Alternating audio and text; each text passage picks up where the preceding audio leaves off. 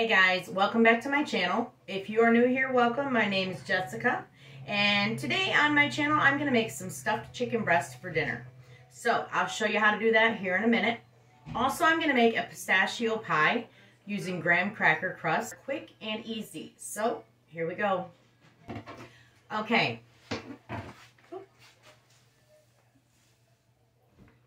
I'm dropping everything today. Bear with me.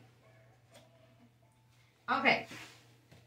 I am going to use, I went shopping at a store called Meijer. I don't know if everybody has a store, Meijer, here in the United States, you know, in the state that they live in. But we have a Meijer store here, and it's kind of like a Walmart, but um, not 100% like a Walmart.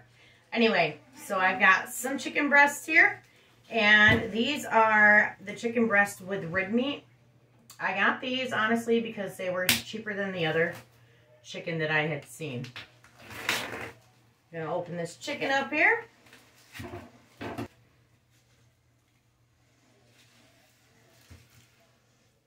Got my cutting board so that I can get all these pieces off. Like, uh, I don't know if you can see, but I got these pieces that I, I don't like to keep on.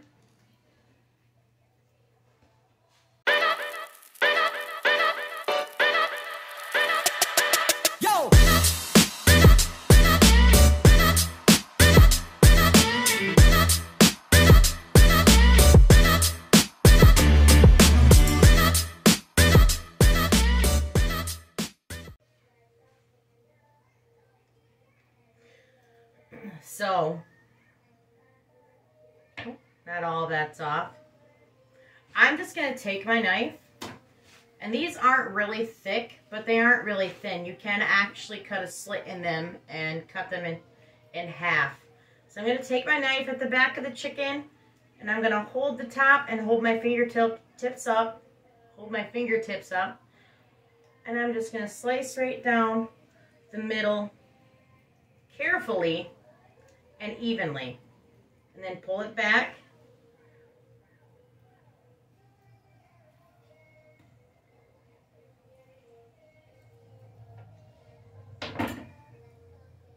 And I have made, it's not perfect, but I have made a pocket in the chicken. Excuse me. I'm going to sit that right back in here. And then I'm going to continue to do these up.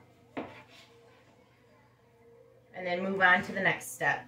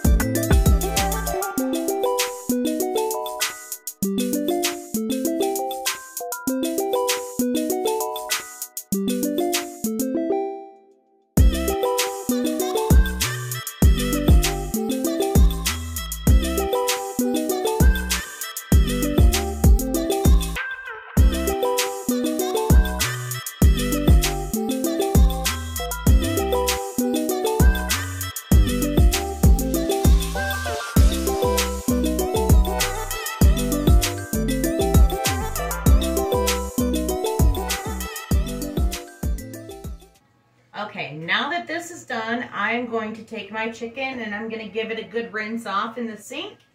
And then this pile here of all the trimmings from the chicken, I'm going to put in the freezer for my chicken broth that I plan on hoping, hoping to make in the future. I have not yet. I still haven't. I guess we'll see.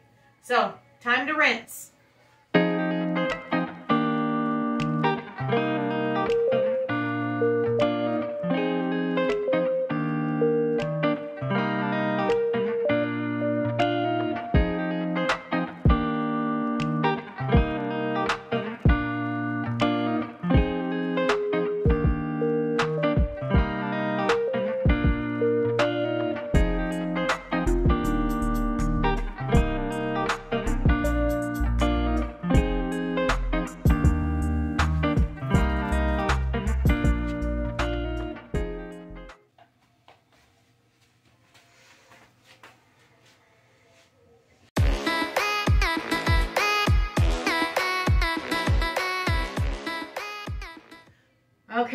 Get out my cake pan and line it with parchment paper.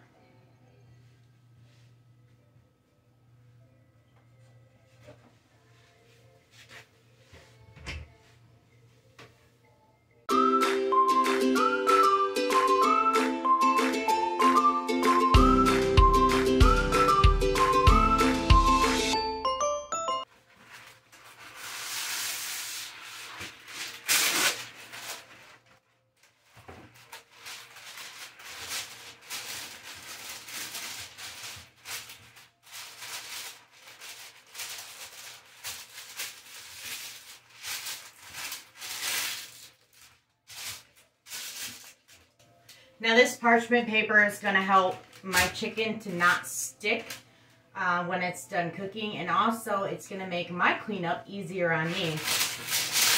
Sometimes, sometimes parchment paper is a headache to try and keep in the pan before you get the stuff in there, but well worth it in the end.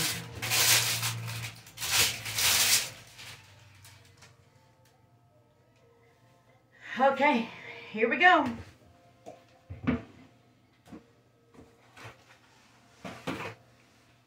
Gonna take this bowl here and my two packs of Philadelphia cream cheese.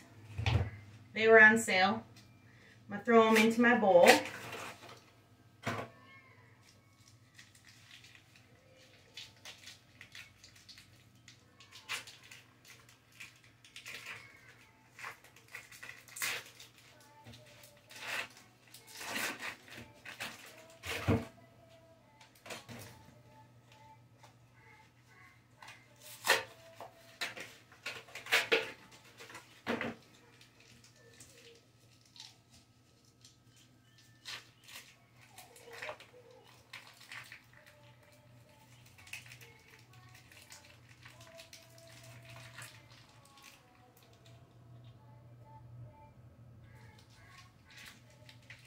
Packages give me a problem today.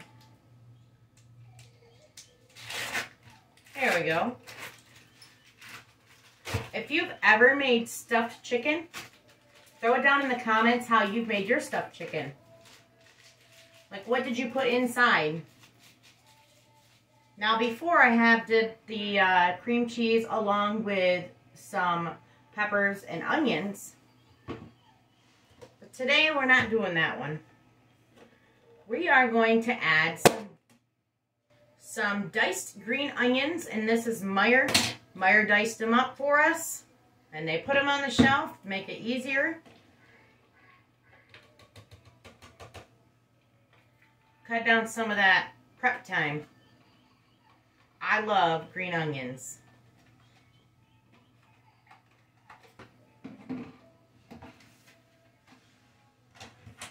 Take care of these real quick.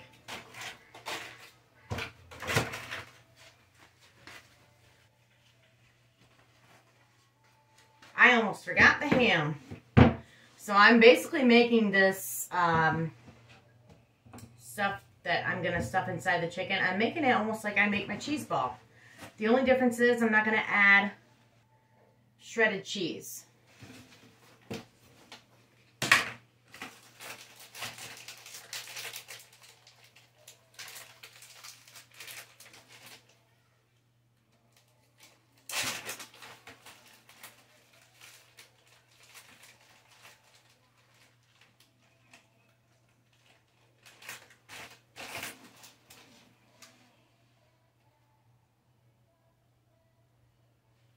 I'm just going to lay out my ham. I'm not going to lay it out. I'm just going to lay it on my cutting board. And this all is going to be touching the chicken. So I'm not going to worry about cross-contamination with it sitting next to the chicken because it's getting stuffed inside the chicken anyway.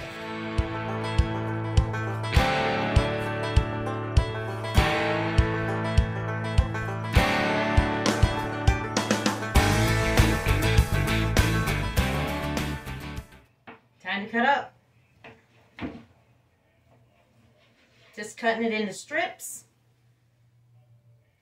Then I'm going to dice.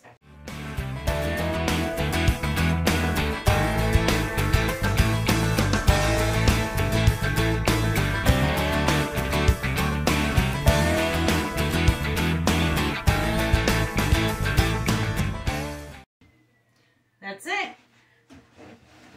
Get a spoon and mix it all up.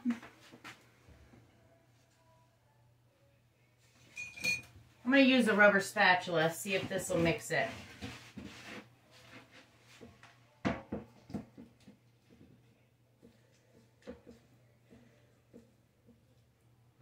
Nope.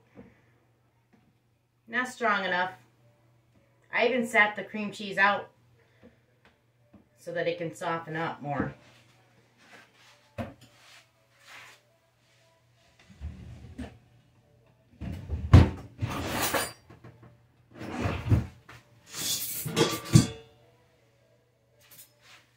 Just gonna get a regular tablespoon here.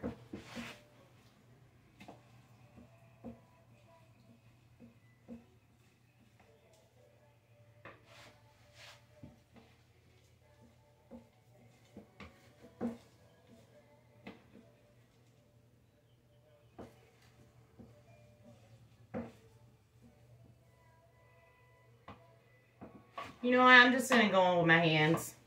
It's for my house anyway.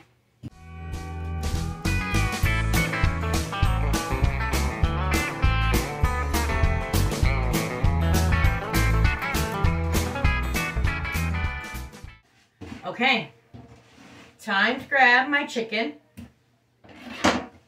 So I'm going to just, hang on, I gotta move the ham.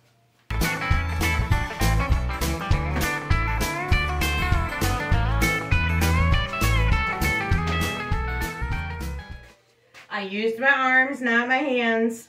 I don't want to touch that container after touching this chicken. Just want to grab some, almost like a handful, and press it down in the middle.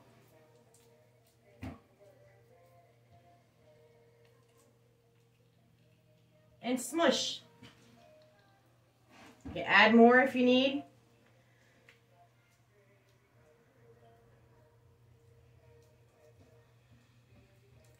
And this is what it looks like. Back side, front side. You see all of that goodiness in there. I'm going to finish these up and then we'll wrap them in bacon.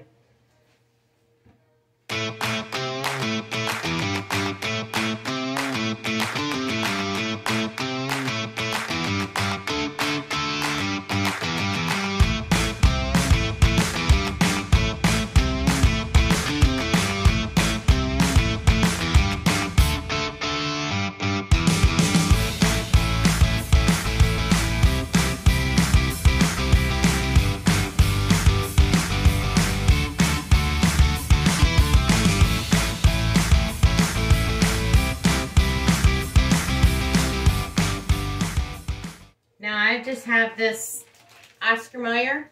And honestly, I don't usually buy Oscar Mayer, but they were um, over $3 off today at Meijer.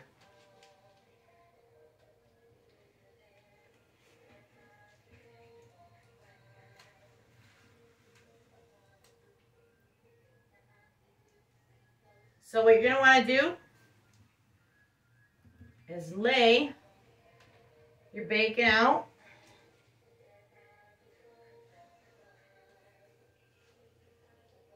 I say probably two or three pieces each. Just depending on the size of the chicken. And just fold it over. And fold, you fold the first part over and then under that part you want to bring down the other side of your bacon under that. Not on top of the bacon you had already folded over.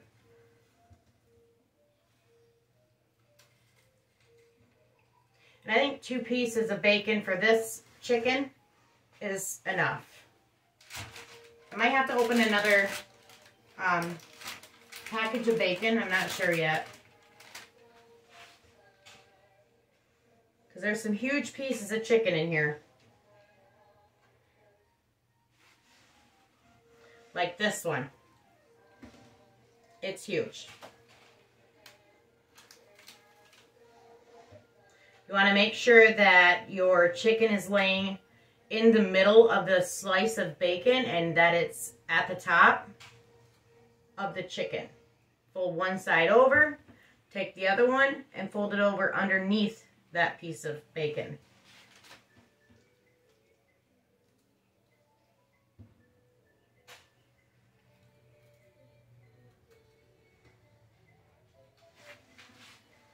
You want the bacon to be on the chicken as evenly as possible.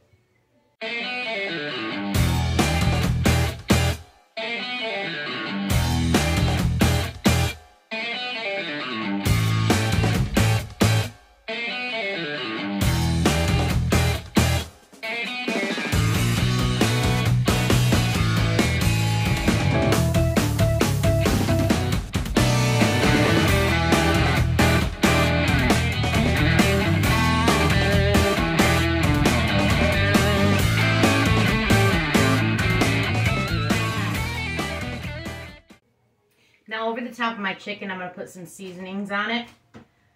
You can put your seasonings on your chicken before you wrap it in bacon, but I'm going to just put it over the top of the bacon.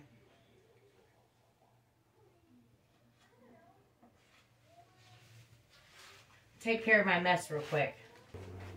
Okay, first I'm going to go in with some salt. Now remember, the bacon will be salty, so I'm not going to add too much salt to this.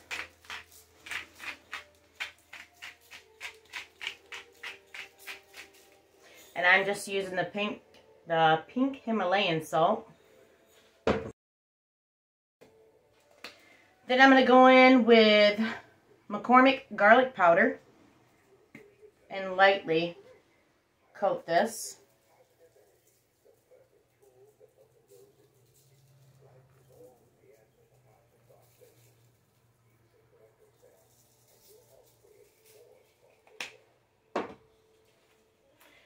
And next, I'm going to go in with Stone Mill Italian Seasoning.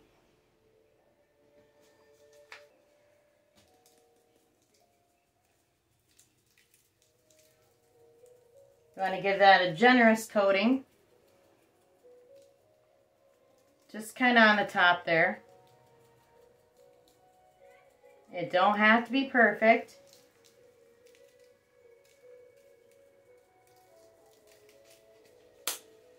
And then dust it with some onion powder. I have some fine onion powder here from Members Mark. I'm just going to dust it with this. Kind of gives it more of the onion kick. It may look like a lot, but it's not. It's onion powder. If you like the taste of onion, you know what I mean. Okay, so I'm going to throw this in my oven at 400 degrees Fahrenheit for 40 minutes and then I'm going to use my thermometer to check the temp inside.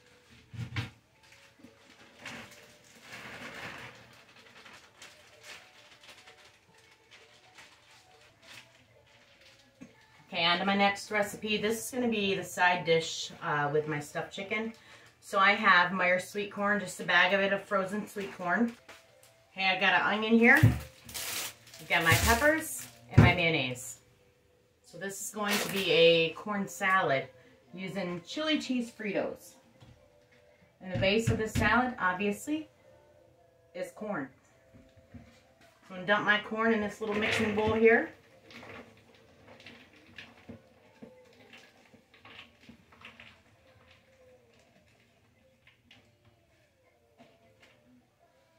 I'm going to get my veggies chopped up.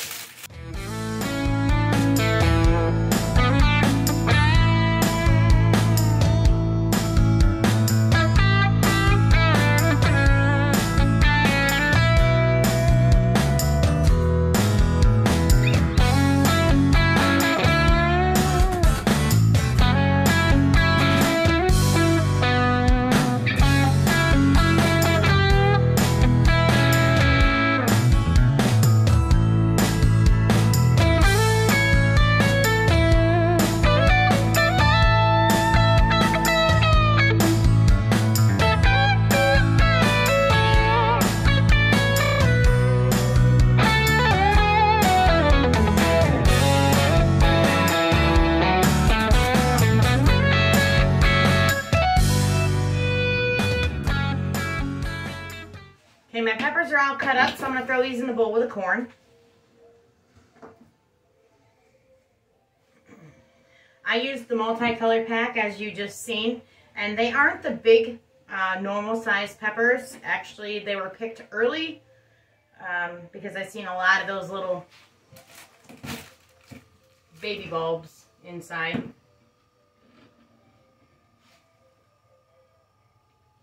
So they weren't as big, they were smaller.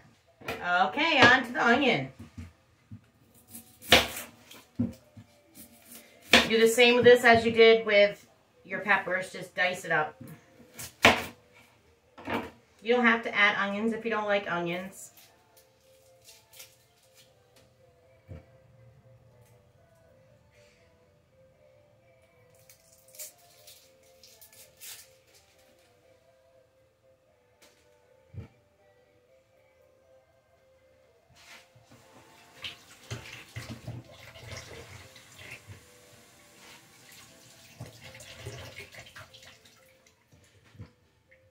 Forgot to set my timer on the oven.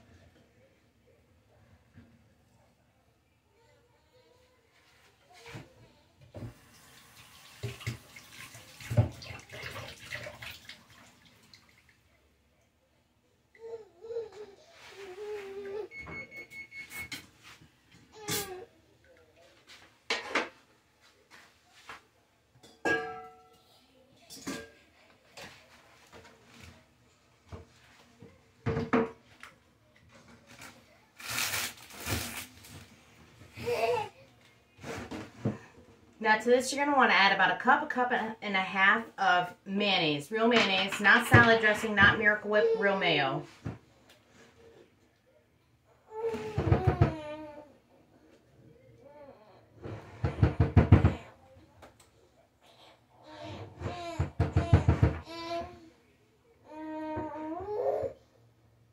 You can just eyeball it. You can add more if you feel that you need to add more.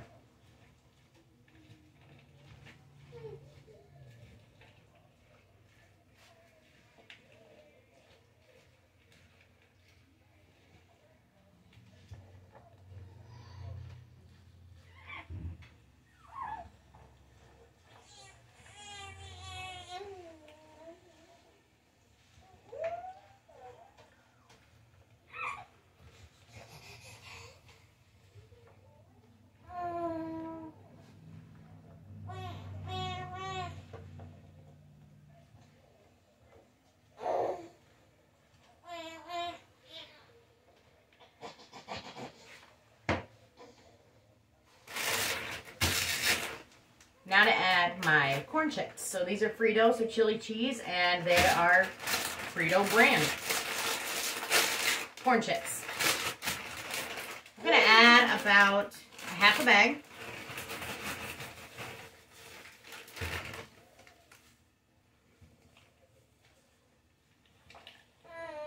Stir those in.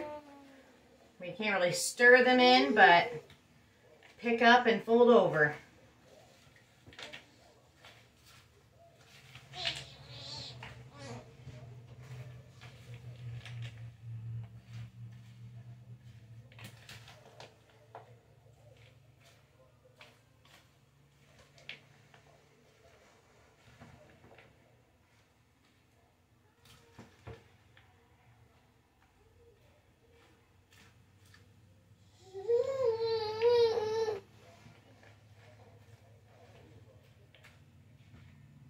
Time to try and see if it needs anything else.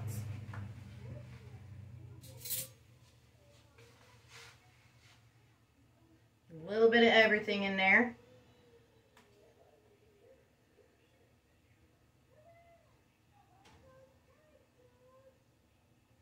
Here we go.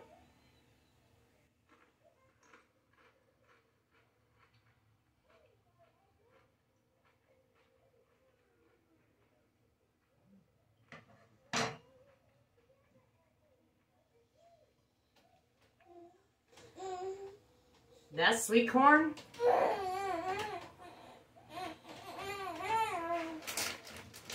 You want to try a bite, baby?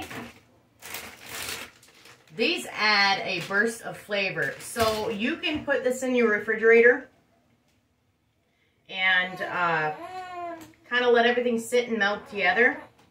Put it in there for an hour, two hours, all day if you want. It don't really matter. Sit it in there overnight. Probably be best the other day. You know, the next day. Um, now the corn chips that you put in here, they will be soggy if you let them sit in the refrigerator for over an hour.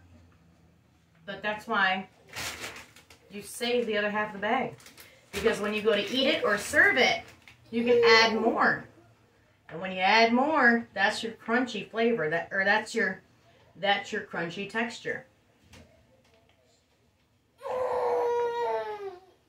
Okay, I think it's uh, time for dessert. Let me show you guys what this looks like.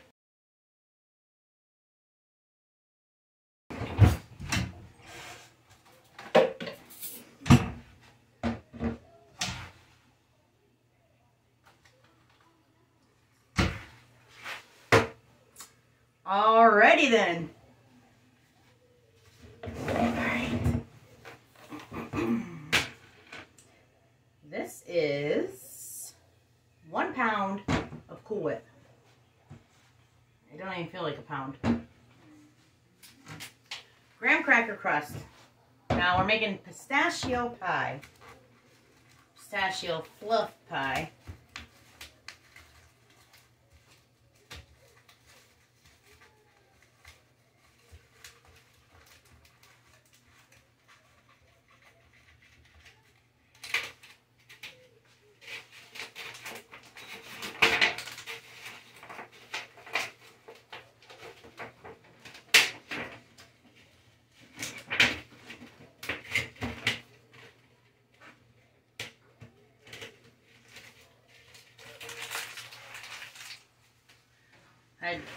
Glue wasn't wanting to come off.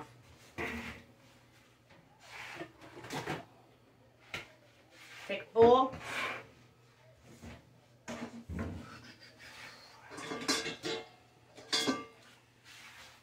Dump the whole thing.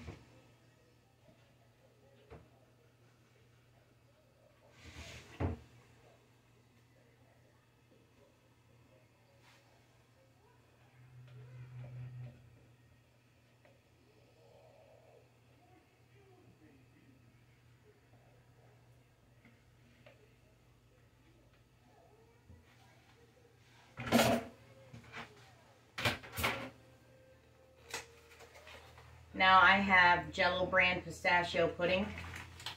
And it's just a small one ounce box. You can get a bigger box if you'd like. Pour it all in.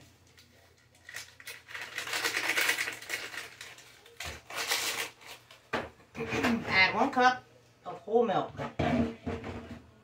That's what I'm doing. You can use whatever milk you want, but I'm going to do whole milk.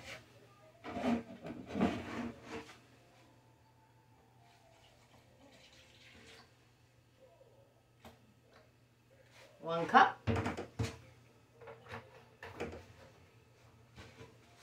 Pour it right over the top.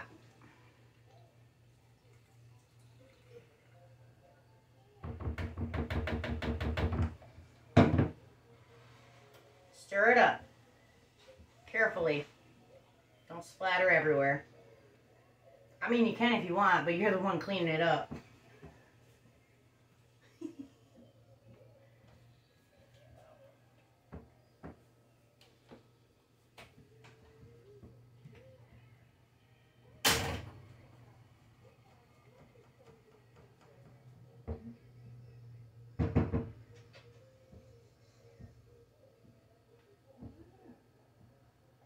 Let me get my whisk.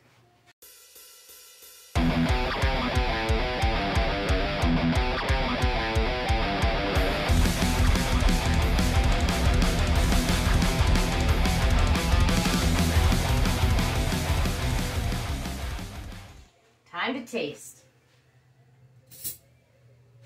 You want to taste? Want to taste? No.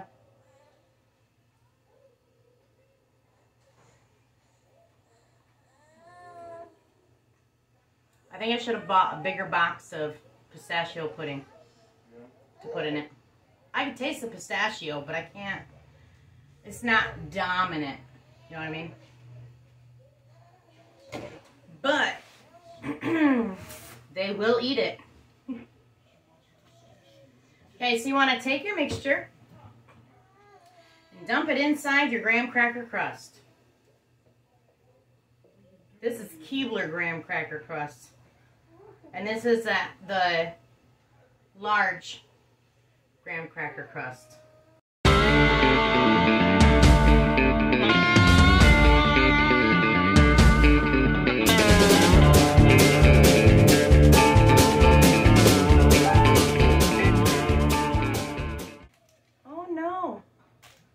Popping off.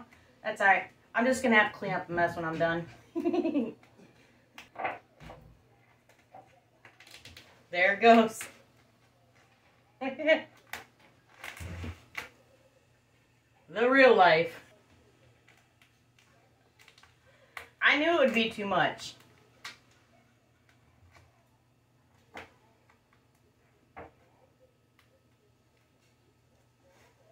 Oh, what a mess. So yeah, don't put too much. you would be dealing with a mess. Alright, I'm going to get this cleaned up and put it in the refrigerator. It's to sit there until my dinner is done.